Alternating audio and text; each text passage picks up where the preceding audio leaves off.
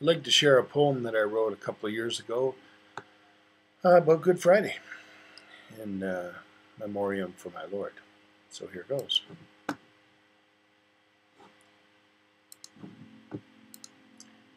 It's Friday now, but Sunday's coming, I heard my Savior say.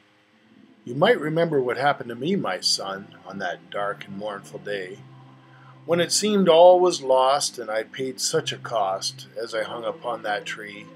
But I did it with gladness to take away sadness and from your sins to set you free.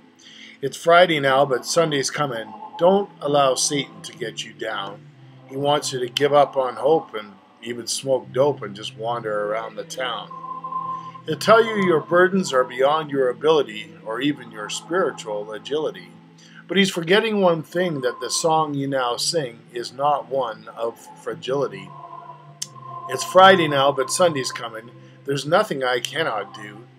You know I am with you, and that is the issue. My name is faithful and true. Because I've come in the flesh and have given my best in order to overcome death, for all mankind to live, eternal life I now give. Will you allow your faith to be put to the test? It's Friday now, but Sunday's coming. Remember, I'm no longer in the grave.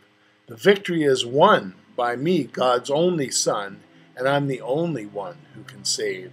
So when your trials are mounting, just remember I'm counting until the day that I bring you home, and I'll be right beside you to cheer and to guide you, and with me, you are never alone.